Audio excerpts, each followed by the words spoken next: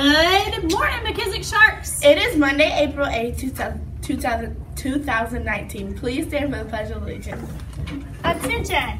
Salute pledge. I pledge allegiance to the flag of the United States of America and to the republic for which it stands, one nation, under God, indivisible, with liberty and justice for all.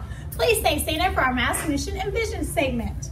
We believe in motivating, excellence, activating, innovation, supporting others, transforming futures. Be seated for your moment of silence.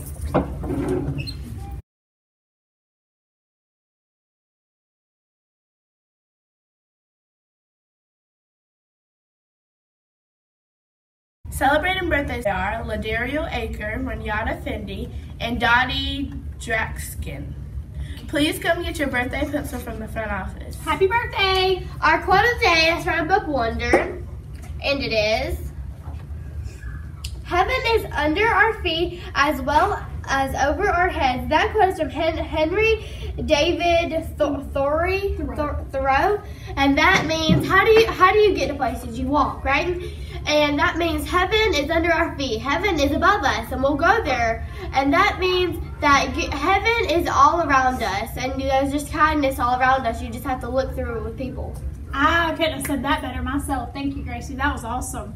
All right, guys, for your morning announcements, no big things today. Um, just want to remind you guys that tomorrow night, that's Tuesday night, we will have the STEAM night at, EA, Easley High School. Um, that starts at 5.30, and then we will have our PTO skate night on Tuesday night, too. But I want to remind you of the STEAM night.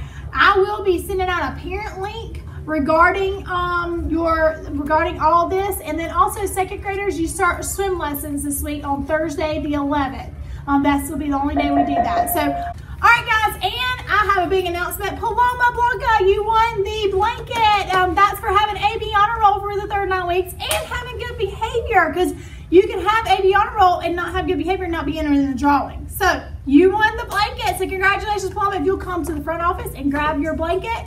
And congratulations to those teachers that had perfect attendance. That was Miss Alexander, uh, Miss Cash, Miss April Evans, Mr. Yelstrap, Miss Golden, Miss Howard, Miss Jennings, Miss King, Miss Ray, Mr. Rowland, and Miss Young. Congratulations, teachers, and I will be bringing you by a special prize if it's not already in your box.